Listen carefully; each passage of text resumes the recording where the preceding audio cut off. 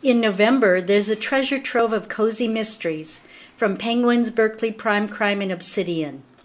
In fact, there's so many books, I'm going to have to shorten some of my summaries. New York Times best-selling author Ellery Adams kicks off the list with Writing All Wrongs, the latest books by the Bay Mystery. As the Legends of Coastal Carolina Festival gets underway, a trickster seems to be bringing local ghost stories to life. But when a body is found on the beach, Olivia Limoges and her friends must find a killer. Plot Boiler is Ali Brandon's latest Black Cat bookshop mystery. Bookseller Darla Pettistone decides to throw a block party for the 4th of July, but the proprietor of Perky's coffee shop is less than thrilled. When Hamlet the cat comes upon the body of the owner's wife, it's clear a killer has crashed the party. Joanna Carl brings us a paperback and a hardcover in her Chocoholic series. A suspect was arrested in the murder of Moe Davidson, the shop owner of Clowning Around. But when Moe's widow is found unconscious, Lee Woodyard fears the real killer might still be at large. In The Chocolate Clown Corpse, Lee must stay alive long enough to discover if a neighbor is celebrating Clown Week as a killer.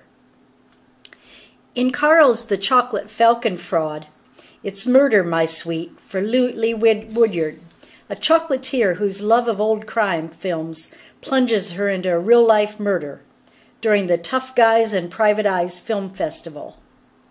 And motives aren't so black and white. Crowned and Moldering is Kate Carlisle's new fixer upper mystery. Contractor Shannon Hammer can repair even the most distressed building but clearing out the cobwebs and the bones from her current project, a historic lighthouse mansion, may distress her to death. Flower shop owner Abby Knight is back in Florist Grump. She's so stressed she's turned into a major grump. She and her new husband Marco are living with her parents while their house is under construction. There's too much talk about babies. And then there's a murder. Abby's energy is wielding, but she doesn't want a beloved figure to be the number one suspect. Vicki Delany launches the year-round Christmas mystery series with Rest Ye Murdered Gentlemen. In Rudolph, New York, it's Christmas time all year. Merry Wilkinson, owner of Mrs. Claus's Treasures, is excited about her float in the semi-annual Santa Claus parade. But when her float is sabotaged, and Merry's number one suspect is found dead, she has to find the Grinch out to destroy Christmas. Death Takes Priority by Jean Flowers is also the first in a series. Cassie Miller returns to her small hometown in the Berkshires to become postmaster. But a break in and theft at the post office, followed by the discovery of a body in the woods, draws Cassie into the case. Sally Goldenbaum's hardcover is Trimmed with Murder. The Seaside Knitters are on the case when Izzy Chambers Perry's brother becomes a suspect in a murder. It's a holiday yarn when Charlie Chambers brings an outspoken hitchhiker home. But that hitchhiker, Amber Hanson, is there declare, to claim an inheritance until she's found dead. Tis the season for Christmas murders, and Victoria Hamilton's vintage kitchen mystery, White Colander Crime, fits in perfectly. Queensville's Heritage Society is recreating a perfect Victorian Christmas until good tidings go bad. The murder of a local woman is a Dickens of a case. The new Greek to me mystery is Olive and Let Die by Susannah Hardy. Is murder all in Georgie Nikolopoulos' family? Georgie's life is beginning to feel like a soap opera. A surprise visit from her estranged mother adds to the drama. But the discovery of the body of a cousin Georgie didn't know she had adds a new twist to the family plot. Betty Hechtman's Knot Guilty is now in paperback.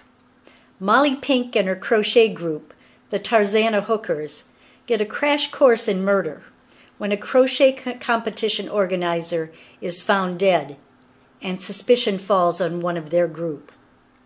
It's embroidery, not crochet, in Amanda Lee's The Stitching Hour. Marcy Singer's embroidery shop is a year old, but its future is in jeopardy when a haunted house opens next door and the screaming may scare off customers. But when a murder victim is found with one of Marcy's celebratory seven year stitch key rings beneath her, Marcy's own future is in jeopardy. Lindy Blanchard returns in Elizabeth Lee's Nuts and Buried. Lindy has enough on her hands at her family's Texas nut farm with her new strain of pecan trees dying.